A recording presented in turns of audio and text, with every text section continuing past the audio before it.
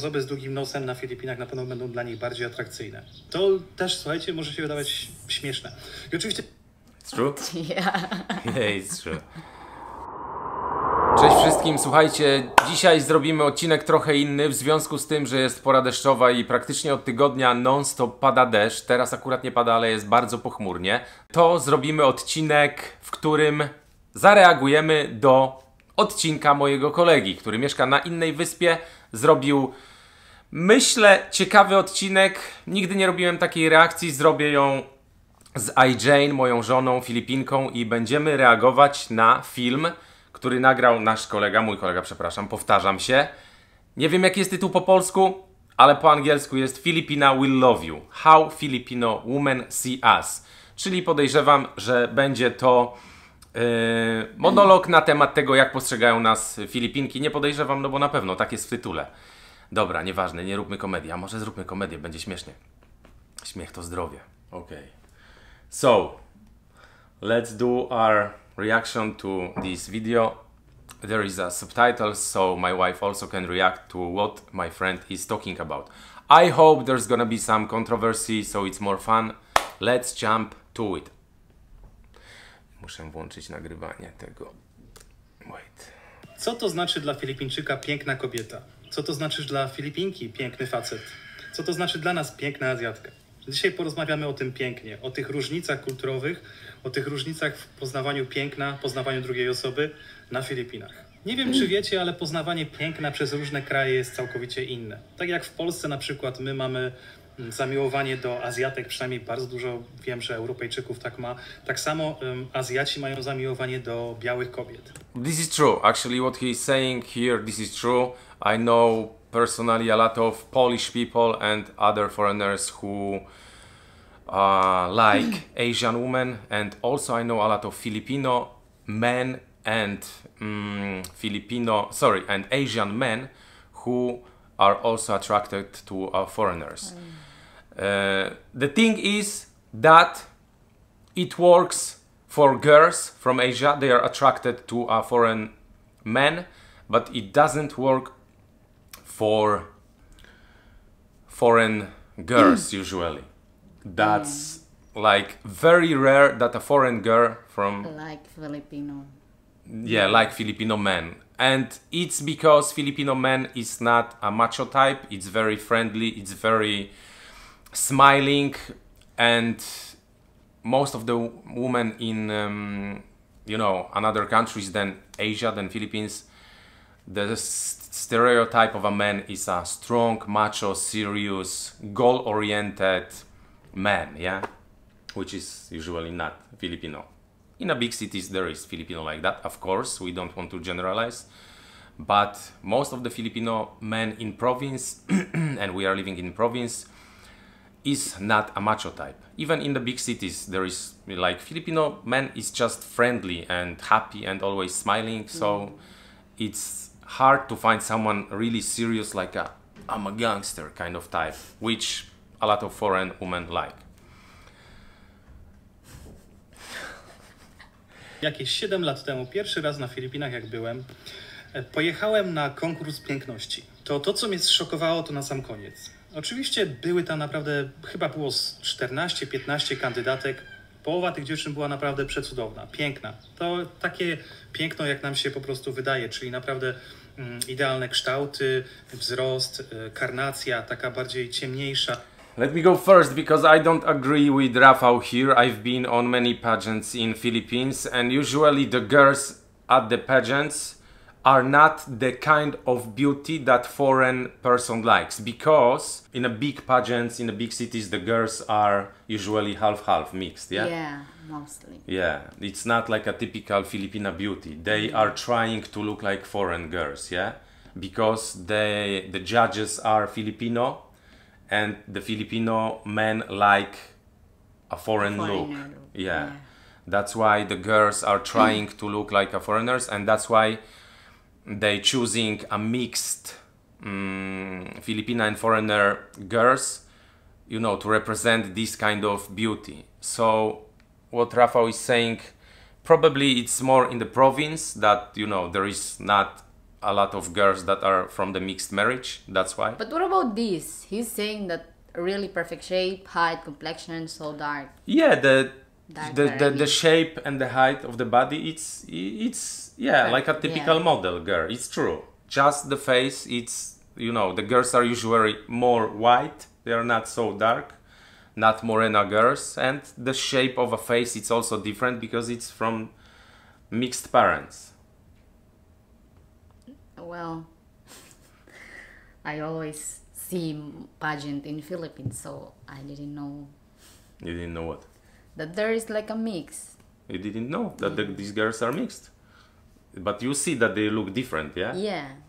because they are mixed. Usually they are mixed. Okay let's Natomiast słuchajcie, największym zdziwieniem tego całego konkursu było to, że moim zdaniem wygrała najbrzydsza dziewczyna, która I would agree with that because, yeah, for us, for the foreigners, the beauty type that the Filipino like is not the one that we like. And I experienced that also. That I was thinking like, why this girl is the winner? She's the ugliest. You can see a lot of pretty girls, more pretty than her on the street, and even in this competition. But the ugliest is the winner. But that's how it works here because the judge is Filipino, not foreigner, so they are looking for their kind of beauty. Mm-hmm. Agree. Agree. Indeed. w sumie nie była jakaś wysoka, nie miała jakichś idealnych kształtów, ale to co miała, to miała bardzo długi, szpiczasty nos i wyglądała tak, jakby pół życia kąpała się w wybielaczu. Okay, what he said here is true. Filipino people have obsession about the long nose. I've been 100 times asked about my nose. Can I have your nose? Can I have your nose? Oh my not. Oh my god, your nose it's so beautiful. This is like a crazy obsession here in Philippines about foreigner nose. And even if I would give my long nose to my wife, she would look ridiculous with my nose, but she still want it. And the skin. And the skin, yeah, the white skin, yeah. Another obsession here in the Philippines, the color of your skin. Probably our viewers know about it, so we're not gonna go into a lot of details. But what Rafał is saying here is true. Most of these girls who are in the pageants, they are whitening their skin uh, with a whitening products. And fun fact, in Poland and in Europe and in America, it's opposite. Girls are tanning their skin, they want to be darker because it represents freedom to travel, going to, you know, countries and getting tanned, meaning that you are rich because you can afford that. But here in Philippines, if you are darker, you are poor because you are outside, you are not in the office. If you are white, it means you have a good job.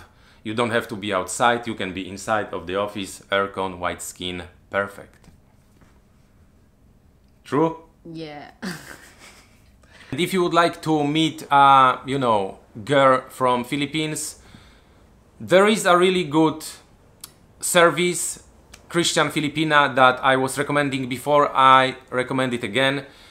And obviously, to meet a love of your life, the best way is to meet that girl person in person, yeah? yeah. To do that you have to come to philippines and search for love yeah? Not everyone can do it. That's why you know there is a lot of um, dating sites but the problem there there is a lot of scams also. And there is girls who are using that um, you know dating website to make money. They are chatting with 100 foreigners at the same time selling the story about my grandma is in hospital i would like to study but i cannot because i'm poor my mama is dying and things like that. And they are sending the same messages to you know 100 foreigners and from these 100 foreigners then there can be two or three that they gonna send money. And as usual i'm not saying that this is the most of the cases this is the least of the cases for example 100 girls in dating sites is good but from this 100 three can be bad and it's easy to be scammed because they are creating multiple uh, profiles and trying to scam multiple people at the same time, making actually a lot of money on that. And that's why Christian Filipina is so good because there is 24 7 staff checking the profiles and making sure that there is no way to you know to scam. Guys i'm not uh, exaggerating when it comes to scammers because many people send me a message and you know they are asking for help. Personally i was trying to help one guy who sent a girl more than half million peso because she was promising him that she will marry him. She needed you know money for visa money for passport money to go to manila blah blah blah. He he sent me all the emails all the um, you know um, messages that they exchanged all all the proofs how much money he sent. I actually tried to help him but at the end i couldn't. I'm not gonna go into details but i had few cases like that. So just a word of advice to you guys there. Be careful you know be smart about it. Don't send money to a girl that you don't know personally. If a girl is genuine you know genuinely genuinely if the girl is interested in you for real she's not gonna ask you for money. She just you know gonna be talking with you and hoping that you will meet in person soon and maybe there's gonna be something else. But there is also this you know more advanced smart girls that they not gonna ask you for money but they gonna direct the conversation in a way that you will want to send money by yourself. Because she will ask she will not ask for money but she will say that yeah i'm you know i wish i could have a better education but you know my parents are poor and things like that. She's not gonna ask you for money but she's gonna make you feel like okay i want to send her money. And that is also usually scam. So don't get me wrong because you can find love of your life you know online. And i had some good experience with you know dating girls online but i'm experienced here in asia. I know what to look for and how to smell something fishy yeah a lot of you guys don't know about it. That's why i'm recommending you this um, service christian filipina. And also you know it's not easy to find a partner who's gonna represent the same values or religion like you. Again christian filipina. For all you guys who are christian i really recommend that service. So basically the link is under the video in the description. and really really good service that we both recommend to you and if we gonna help at least one person to find love of your life and avoid being scammed we're gonna be happy Happy. although we are already happy so make sure you check this out Więc osoby z długim nosem na Filipinach na pewno będą dla nich bardziej atrakcyjne. To też, słuchajcie, może się wydawać śmieszne. I oczywiście it's true Yeah.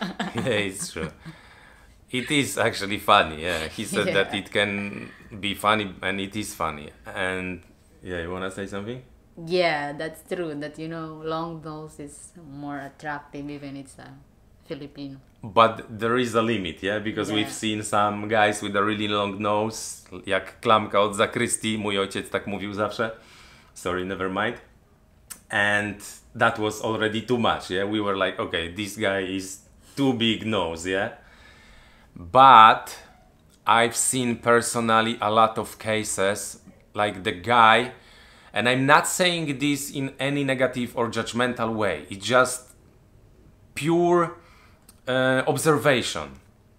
Guys who are not attractive at all, opposite of attractive, and they are in a relationship with a really beautiful Filipina. And it's not always about the money, it's because the Filipina see that person completely different. Jeżeli ktoś kocha wysokie kobiety i tylko i wyłącznie takiego pociągają, to raczej e, tutaj nie znajdzie kandydatki na żonę czy dziewczynę. It's true. Like most of the Filipina girls, it's uh, shorter. Not all are short, but like generally they are a bit shorter than European American girls. Yeah. And also guys, Filipino guys. That is another factor for Euro- European girls that they are not so attracted to Filipino men because many Filipino men is short. And I remember, you know, what you said when we met for the first time, yeah, in in your village. Mm-hmm. The first thing I Jane told me no, that was hey, what, what are you, where are you going, blah blah blah. Never mind. But after a few sentences, she pointed out, I like your height, yeah, Yeah. Because I'm tall compared to most of the Filipino guys. So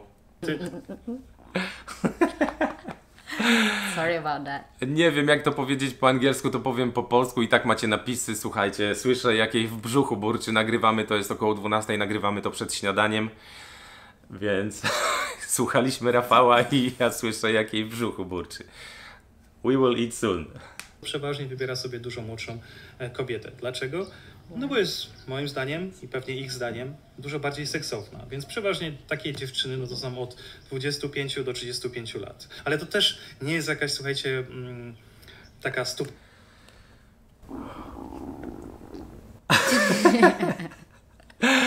I hope they can hear that.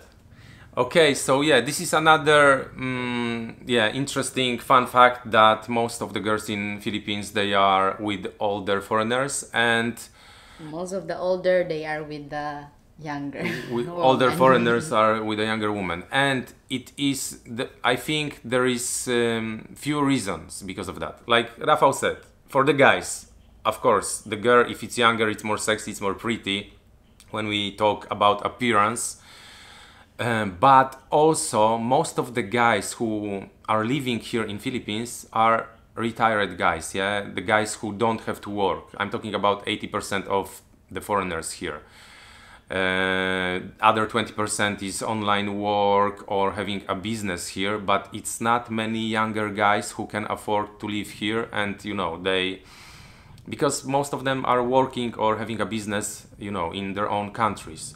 So that's one thing that you know for a filipina it's not easy to find a boyfriend or husband in her own age and not a lot to choose from you know when it comes to younger guys Też znam takie związki, gdzie to jest na przykład starszy pan ze starszą Filipinką, którzy no, są nawet po 50 i są po prostu poznali się tutaj i są razem. No, Też są takie pary, to prawda, aczkolwiek jest to rzadkość.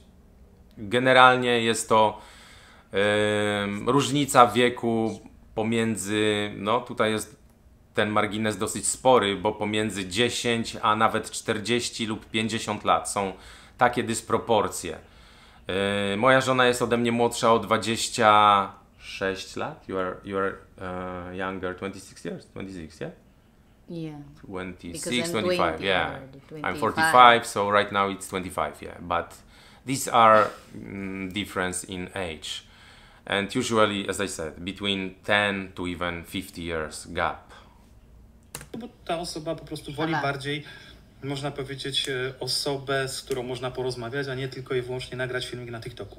Not all young girls is nothing to talk about. Yeah. There is a lot to talk about.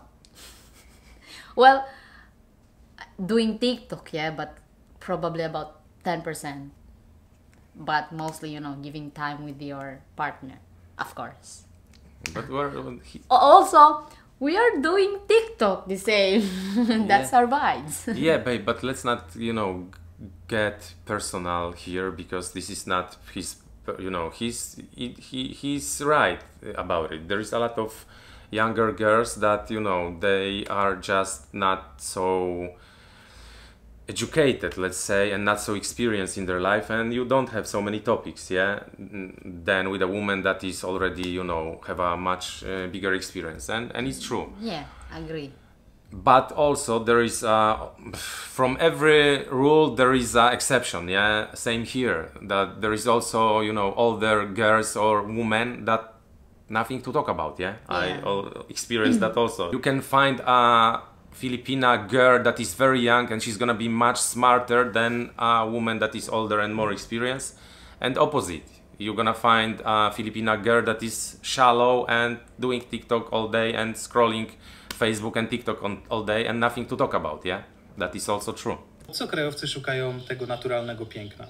Jeżeli naprawdę szukacie naturalnej kobiety, która wygląda pięknie bez makijażu, która jest naturalna, po prostu naturalna, a nie sztuczna, tak jak w Europie, no to jak najbardziej Azja, szczególnie mała miejscowość albo nawet mała wioska. The problem with the girls here in Philippines, usually pro- province girls, I'm not talking about city girls, but also it happens there that they don't know how to do uh, makeup because in let's say foreign countries when the girl is doing makeup she is trying to achieve the look that it looks like she is not having a makeup but here in philippines when the girls are doing makeup they want it to be obvious yeah, that's the purpose of makeup that is so different that you can see okay she's wearing a makeup.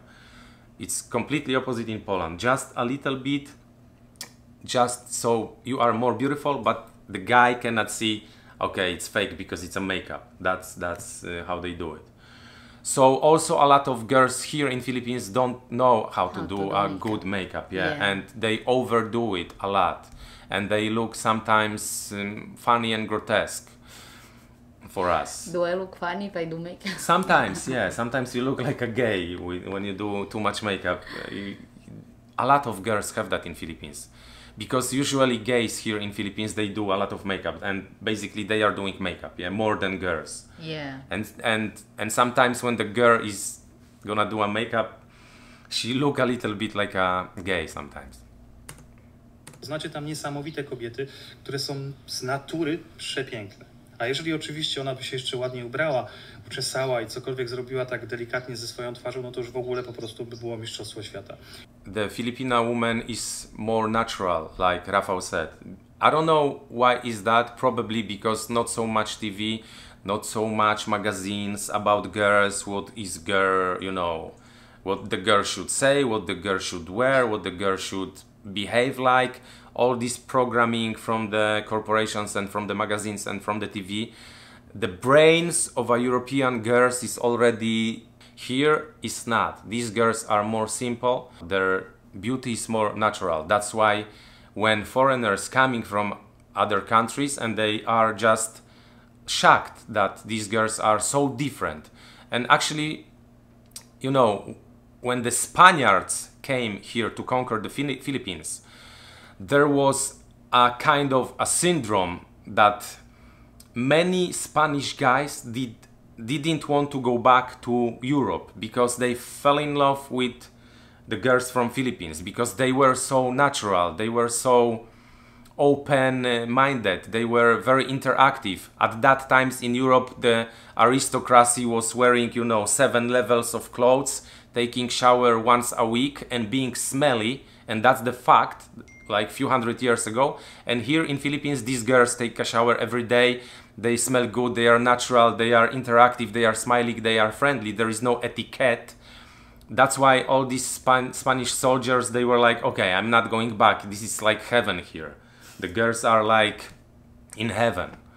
Really? yeah really. That's uh, you can google that i cannot remember how it's called but you know spanish mm, people conquered philippines syndrome maybe it's a magellan syndrome i cannot remember. Try to find magellan syndrome about girls and for sure you you, you can learn about it it's very interesting Jeżeli chodzi o szukanie sztuczna, czyli na przykład, nie wiem, no sztucznych cycków, makijażu takiego wymalowanego na siłę, czy chodzenia cały czas na szpilkach, no to pewnie w dużo, w dużo większych miastach na Filipinach to znajdziecie. Natomiast to też nie będzie tak, że to będziecie widzieć te dziewczyny codziennie. No pewnie oczywiście słuchajcie w jakichś drogich klubach nocnych czy innych rzeczach, ale jeżeli pojedziecie na prowincję, to nie ma czegoś takiego, żeby ktoś tutaj chodził tak ubrany na co dzień. It's true, and what I would like to say, I had visitors. Me and my friend had a visitors, girls from Bacolod, which is a bigger city in Negros, and these girls were wearing makeup. And I remember when I went to the sari sari store with one of the girl, and she was wearing makeup. And I remember the reaction of a girl selling from the sari store when she see that girl. She was looking like that at her, like couldn't believe that she's seeing someone with the makeup because it's so rare to you know in the province in a sari store sari sari store to see a girl with the makeup that like she was like and then because that was my friend when i was with her alone she was asking is this girl a prostitute? I'm like no why? Because she's wearing makeup. I'm like so what? So it's like prostitute, prostitutes wearing makeup. So that is also a belief in the province that if you wear too much makeup or you wear a sexy dress, you must be a prostitute.